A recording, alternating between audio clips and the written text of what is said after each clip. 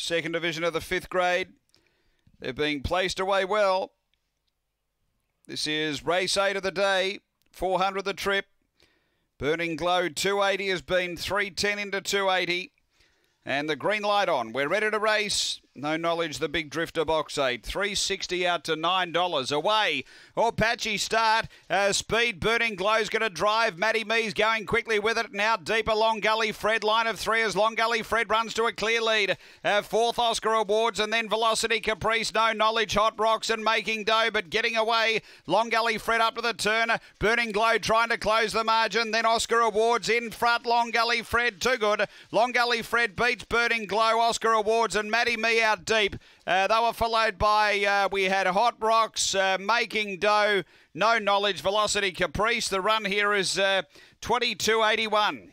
Number five, Long Gully Fred for uh, Paula Herndon. Able to push on in the early part and zip over and grab the lead. Has been too good here.